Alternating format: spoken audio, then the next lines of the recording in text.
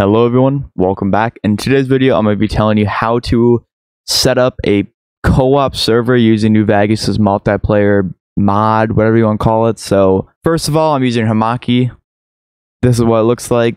So you can either port forward, which is not going to be what this video is about. This is about using a network uh, online. And uh, like I just said, I'm using Hamachi right now and this just makes it so I don't have to port forward. Now, some people can't port forward if you don't have an Ethernet. As far as I know, I don't think you can. I can't port forward because I don't have an Ethernet. This is a lot easier to use a network, in my opinion. Um, so that is what I'm going to be telling people how to do. So I'm assuming you already have New Vegas's um, multiplayer installed, and if you do, the good. Navigate to Steam, browse your local files, and Fallout New Vegas.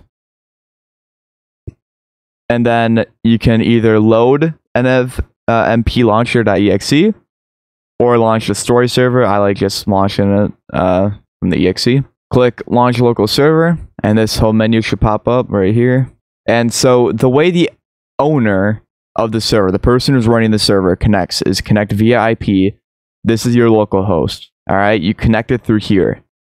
And then when you, the host, I assume in the host is watching the video, when the host connects to the server, then everyone else can connect to the server. So how do you have other people connect to the server is you have to get your IPv4 address from your network.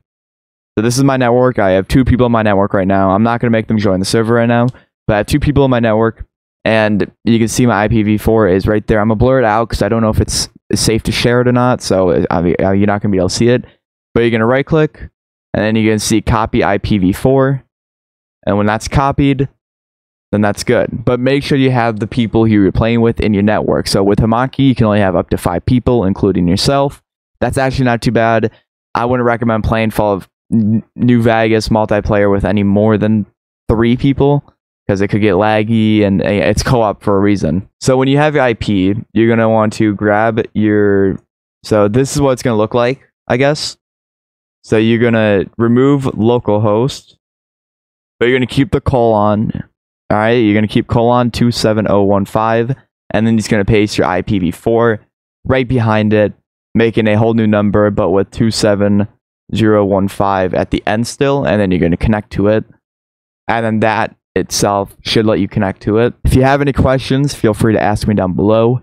But that is basically how to set up a Fallout New Vegas multiplayer co-op server using a network like Hamachi I'll have Hamachi link down below. It's honestly the best thing ever. And soon I'll be making a video on how to do this on Postal 2 because there's some extra steps to do that on Postal 2. But hypothetically speaking, you could host a Minecraft server, you could host any server that requires a port forward with a network like this. So, yeah. The I think the issue with doing a network though is ping might be a little higher.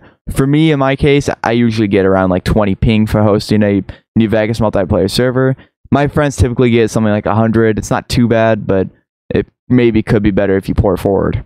Anyways, that's how you do it. Thanks for watching this video. Really hope this helped, and goodbye, everyone.